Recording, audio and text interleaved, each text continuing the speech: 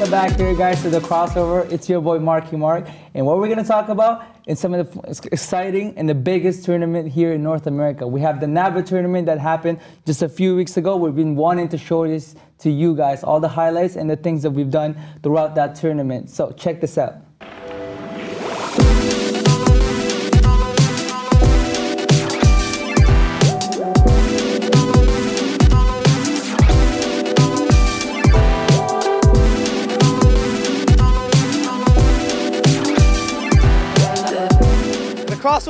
Here in Pennsylvania. This is NABA 2016, one of three big Filipino tournaments that happen on Labor Day weekend. Marky Mark and I are on location. We're gonna check out the action here as well as interview some key people, so I hope you enjoy.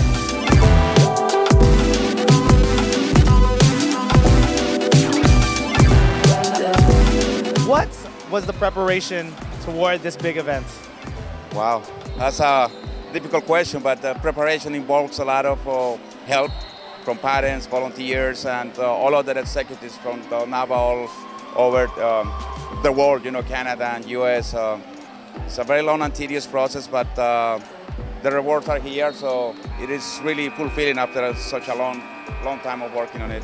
What do you enjoy most about NABA? What do you enjoy the most? What makes you happy about the tournament? Well, I enjoyed everything about NABA because their problems, cities, uh, players, coaches, and everybody that is involved with NABA. they came, they come to me for uh, either assistance or to solve their problems. So that's the most I, the most that I enjoy. I, that's this is the things that I enjoy the most. I like the fact that we get to travel and play basketball with my friends. How about you? Uh, the competition out here is better, and it's just more of a better experience to play with your friends. For me, the competition, you know, and, and watching our kids, they starting from, you know, small kids and growing up and just carrying the team as they get older and seeing them compete with the same group of guys and making the friendships, you know, throughout throughout the country and traveling. How about you? Same thing, competition. Best of the best, each cities. Enjoyable, exciting, fun, fun, fun, fun. I love NABA because you get to be surrounded by Filipinos and they share the same love of basketball as you and it's just a crazy great atmosphere. I just love the competition, like ball is life, and like you get to meet so many new people from different countries and states, and yeah. Yeah, that we could play different teams from like Canada and London. Like I just love it here. I love the atmosphere. Uh, I just like it's my first time playing in NABA, so I just like it's basically hanging out with the girls and like doing the whole tournament together. Just fun out, and you know, win is really winning is really good too, but it's just fun. my friends. Like I, I have a lot of friends, not just in the U.S., but like yourself and all my all in, in Toronto. And wow, someone just stormed the court. That's awesome. I miss that too. I miss the energy. I miss like, but most importantly, my friends, because we built a lot of relationships. Win or lose, we'd still be like, there's be so much love for each other, and there's a whole new crop of generations that it's like I feel I feel like we're just moving along and like I miss everybody, you know? It's so nice to to have somebody from across the border, across the US saying, "Oh yeah, I played against him. That's my really good friend." You know, if you visit their city, you'll have a place someone to visit, you know, and that's what I take to my heart the most. You know, any any Asian basketball tournament in general, it's just the love that and friendships and relationships I built with everyone. Um, how does it feel winning the championship again? Um, it feels good as always. I mean, it, you just get a really good sense of like joy and you know. It felt good because of a lot of us haven't played together. So when we all came together, it was really good to see all the chemistry come together and all that. It was really good. What does it feel like winning it all and winning the championship? It feels great. feels great to be out here. Shout out to John and the squad. Uh, winning ba- winning back to back is the best feeling, especially with guys who've been here for so long. And uh, you know, we won fam. One down. How does it feel like winning it all and winning the championship? Oh, it's, it's the best feeling in the world, man. It's my first time winning the NABA championship, and it's, um, I'm very proud, man. It's from, from all the support from all who sides, moms and dads. I'm just very proud. How do you feel about winning it? I'm so happy for my boys. I've been coaching them since they're like novice days, right? And um, this is the third time we won NABA. My question is to you. Who's your favorite NBA player and why? Kobe. Why do you like Kobe? Because he got a lot of shoots. So do you want to be Kobe when you grow up? Yeah. I'm gonna pick Stephen Curry because he likes to create space and likes to send the ball to all his players around him, and he likes to um, score. he likes to score a lot.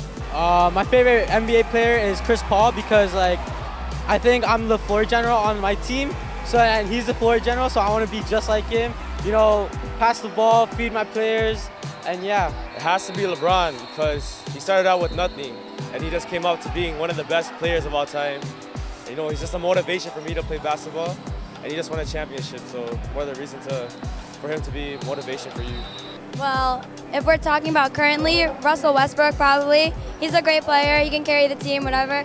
And I guess like of all time, Allen Iverson. He's a goat.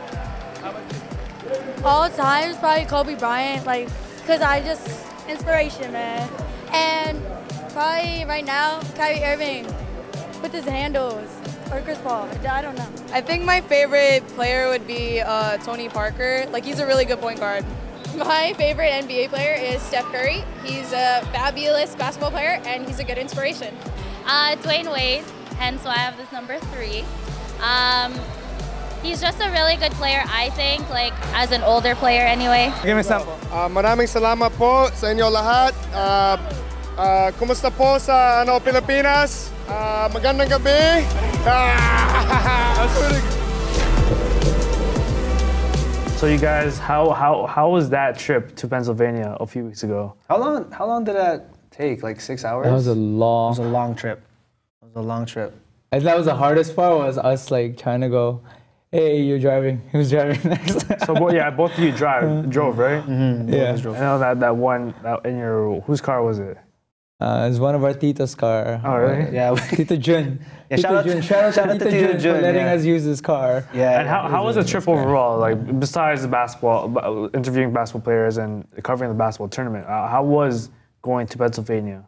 The venue was actually in the middle of nowhere, so But it was huge. It was huge. It was Yeah. huge. But other than other than basketball, we just visited a little local gourmet pizza place.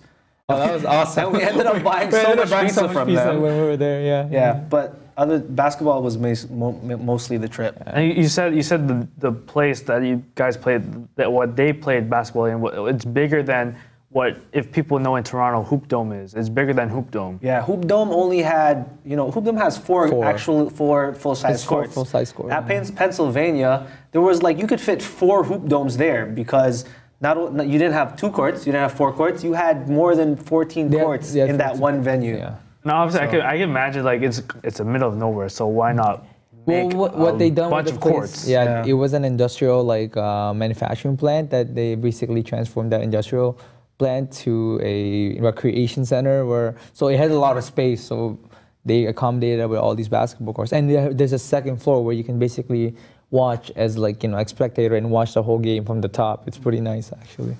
So if people want to go to Pennsylvania, what what do you guys think uh, they should? What what do you what can you recommend them?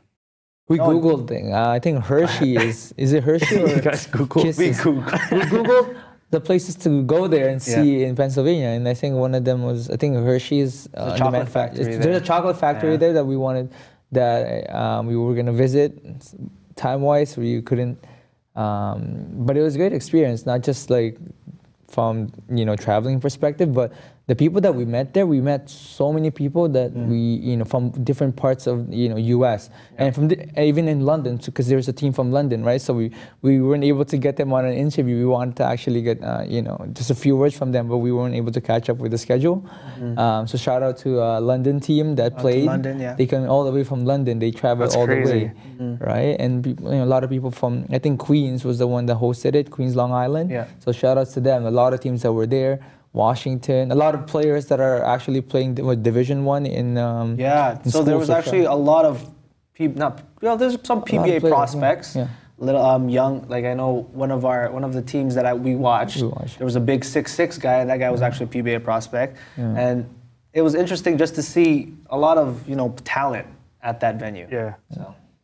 So So if you want, stay tuned for later this episode. We'll go, go through the bulletin, check out any other tournaments. Also follow us on Twitter, Facebook, and Instagram at the Crossover FTV. We'll have tournaments posted there if we're going to be covering them. So up next, we'll be introducing a new, brand new segment. Are you guys ready? I'm excited So for this, guys. for I'm this. Stay tuned for this brand new segment, guys.